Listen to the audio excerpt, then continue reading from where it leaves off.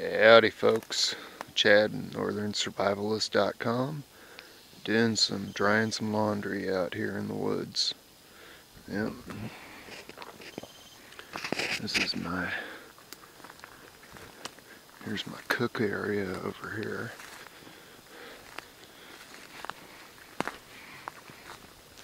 Yep.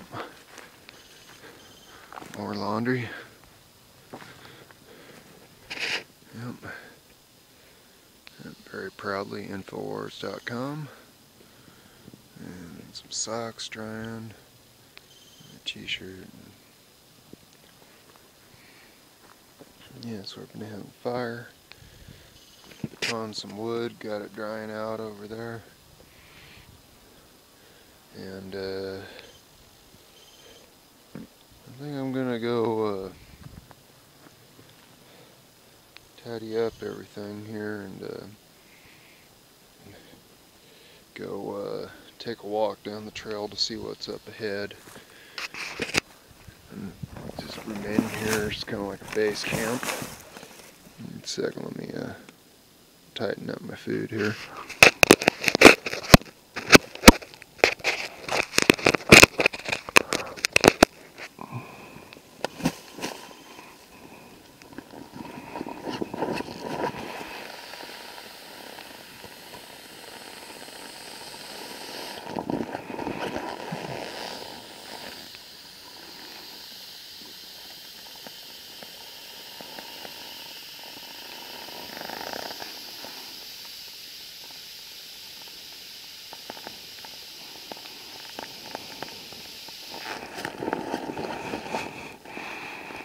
Alright.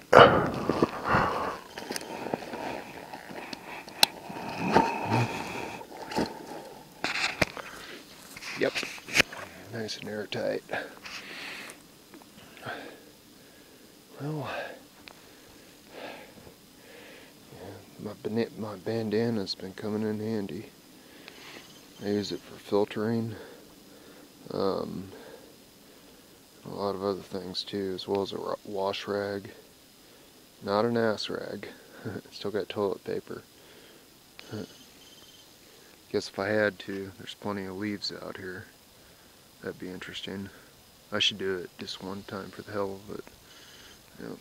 So, um, see, got my Rat 7 survival knife and knife sharpeners, and fire steel.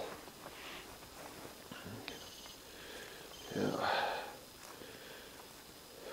So lighter. Mm.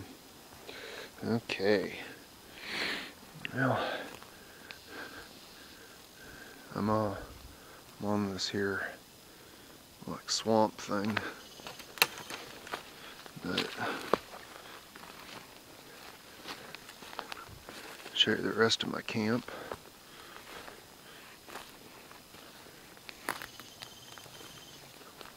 Kind of spread out here.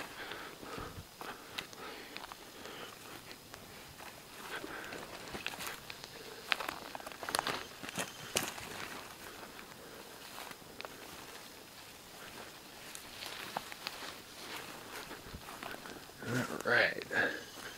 Yep.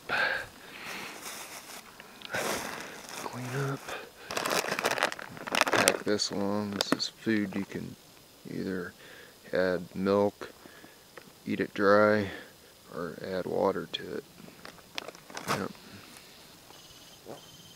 Just in case. You never know.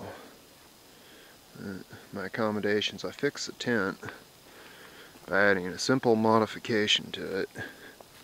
See the tent's designed to go like down this way, alright? But that leaves a big bulge in the middle. But I took a piece of paracord and fixed her on up. That's a, that knot there is called uh, a bowline. Learned that on fishing boats. And, uh, I got it running tied over here with a clove hitch knot, double clove hitch. Yep. They're easy to untie. and uh, fast to tie, very secure, and um, easy to get undone. Yep. Anyways, uh, pretty much this is it here. And as you can see, I got the water in the background there. I'm getting doing my laundry and uh, washing my clothes, washing myself, everything. But getting in and out of this is quite a pain in the butt, I'm gonna admit. So I'll take you up to the trail. What the hell, huh? Trek through the jungle.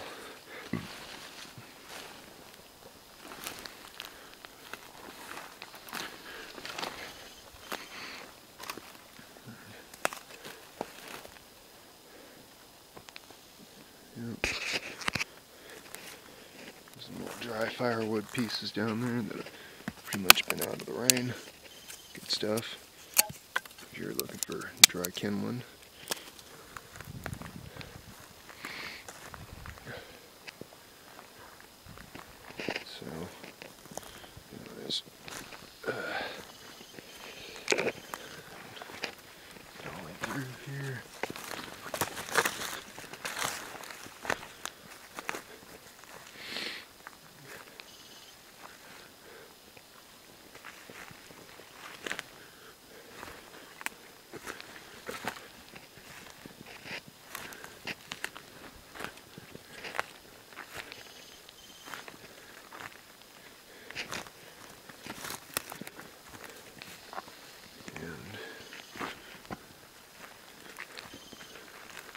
See the average hiker around here.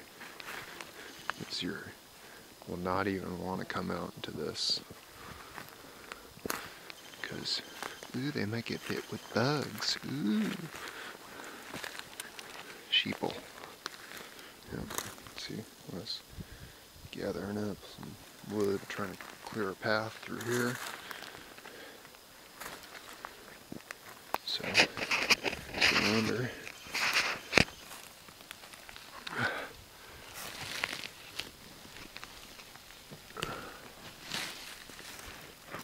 Yep. I'm getting near the trail, so I'm gonna be quiet. I'll give up my just in case there's sheep out here.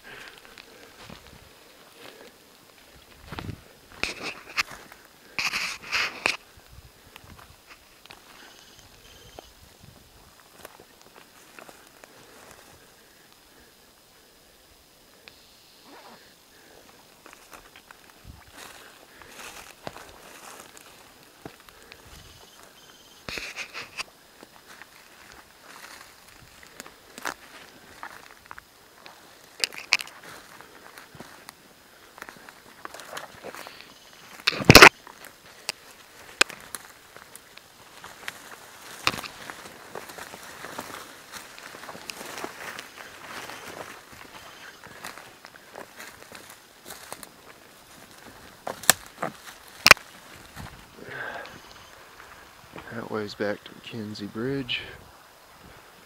This is going north. So, see, I can hear people coming down the trail. I can see them, but they can't see me. Uh, see, what this swamp is, is a creek that's been log jammed. Yep. So, yeah. I haven't noticed any fishers activity in here, but I do know the they got it marked around here, so I won't be for uh, doing some restoration. So I won't be doing any long-term bug out around here, just because it's too uh, much of a popular area that people come to uh, year-round. So, yep. Well, see, basically, I could see him like I'm camped over there, which is like, since I'm all camoed, can't even see. I can't even see my camp. people coming through here are more concerned about the trail and watching out for rocks and stuff. Yeah, see, I can see them because they're wearing bright colors. Me, I'm wearing, I'm camoed out.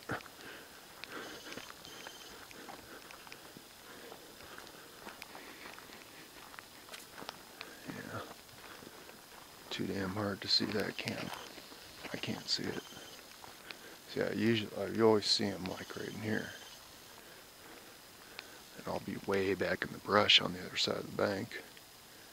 They can't see me for shit.